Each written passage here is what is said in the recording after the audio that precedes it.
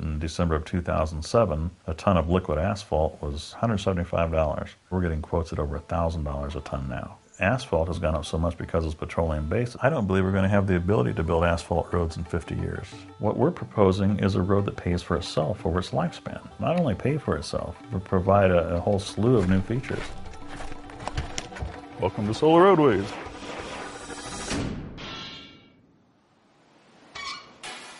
There's 25,000 square miles of road surfaces, parking lots, and driveways in the lower 48 states.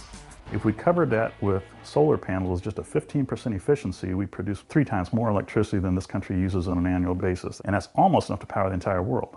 Roads are collecting heat anyways. This thing collects the power and stores it. Your whole road is an electric grid that delivers the power right to your front door, along with cable TV, high speed internet access, your telephone, everything right there.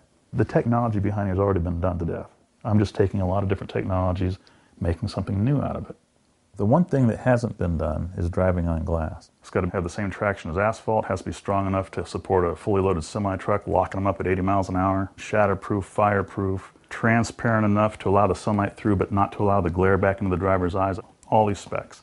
The idea of making a road out of glass is really out of the box thinking because most people, when you mention the word glass, all they can think about is its fragility and ability to fracture. In fact, glass can have as high a strength as steel. We know how to manufacture glass. We know what photovoltaics are. We know what we have to do to protect glass from damage. We know what it takes to lower manufacturing costs. The research that's really needed has more to do with adapting glass for this particular application. A solicitation came out from the U.S. Department of Transportation for an intelligent pavement that could generate power and pay for itself. And so we applied for it. That gave us the funds to actually build a prototype. We purchased parts to build a 12 foot by 12 foot full size solar road panel. And our solar road panel has a 32 by 32 array of individual electronic modules. Each of these have LEDs, three white and three yellow. We milled some traces underneath for the cables. So our cables are coming in and they feed the electronics modules. We're sending commands to the microprocessor wirelessly. The microprocessor determines which of the LEDs are lit up. And we can spell words this way. There's a total of 6,072 LEDs in the prototype. So we can spell just about anything we want in there. In addition, we built a three foot by three foot panel with a frame around it. And we call this our crosswalk panel. There are load cells in here, and it's a weight machine basically. If you're driving at night and you're daydreaming or something, and somebody steps off in dark clothing onto a crosswalk in front of you, that crosswalk starts to flash, the road in front of you starts to flash, it gets your attention, tells you to slow down.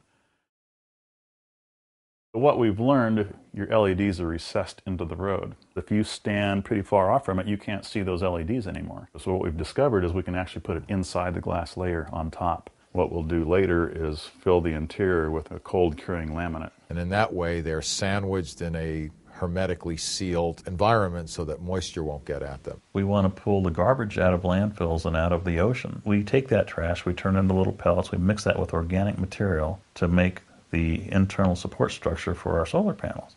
There are engineering degrees out there they didn't have when I went through environmental engineering degrees.